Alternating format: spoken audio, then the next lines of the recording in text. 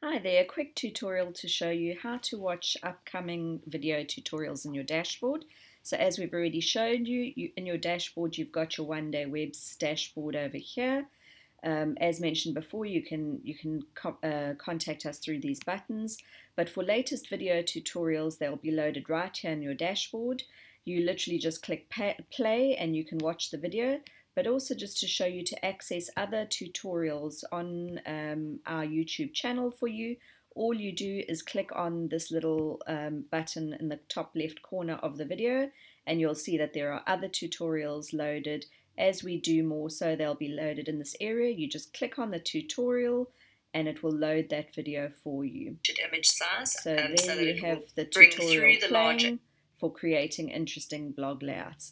So all the tutorials we add will be added to this area and you'll be able to just select any tutorial you want to watch and watch it right in your dashboard so that you can see exactly how to do something.